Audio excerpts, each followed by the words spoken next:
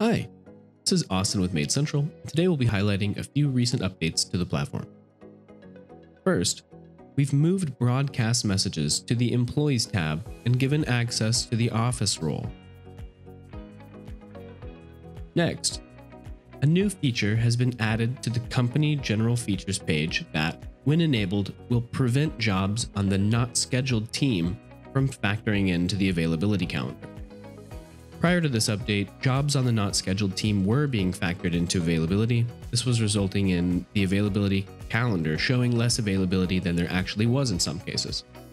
Users now have the option of forcing the availability calendar to ignore those jobs that are on the not scheduled team, which will increase flexibility. Next, we've added three new fields to the payroll summary a payroll ID for use in other payroll processing applications, and hours for sick and PTO time.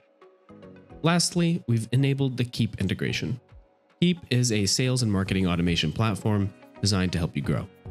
Please check out our support article to learn more about Keap and how it works with MaidCentral. Thanks, this has been Austin Allen, and I'll see you in the next one.